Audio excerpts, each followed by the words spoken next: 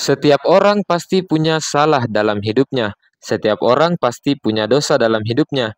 Gimana caranya agar dosa kita selalu diampuni Allah? Dengan cara sholat tobat. Nah, gimana caranya sholat tobat? Sini aku kasih tahu. Sebelumnya di subscribe dulu ya. Yang pertama wudhu seperti biasa. Terus setelah wudhu, baca niat sholat tobat. Usalli sunnatat toba roka'ataini mustaqbilal kiblati lillahi ta'ala. Teruskan kamu sholat, baca Al-Fatihah. Di rakaat pertama, kamu baca surah Al-Kafirun. Dan di rakaat kedua, kamu baca surah Al-Ikhlas. Setelah rakaat kedua, di sujud terakhir, sebelum kamu salam, kamu baca ini. Allahumma inni as'aluka husnul khotimah. Yang kedua, Allahumma rzukni taubatan nasuha qoblal maut. Yang ketiga, Allahumma ya muqallibal qulub Thabbit kolbi ala dinik. Setelah itu tasyahud akhir dan salam.